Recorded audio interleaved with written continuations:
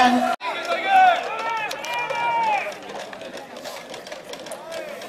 ただいまの会に代打いたしました。佐藤君に代わりまして山本君が入りレフト。レフトの高橋君がセンターに代わります。1番レフト山本君仙台育英学園背番号2 2番番ファースト小田君9番サード栗田君以上のように交代いたします。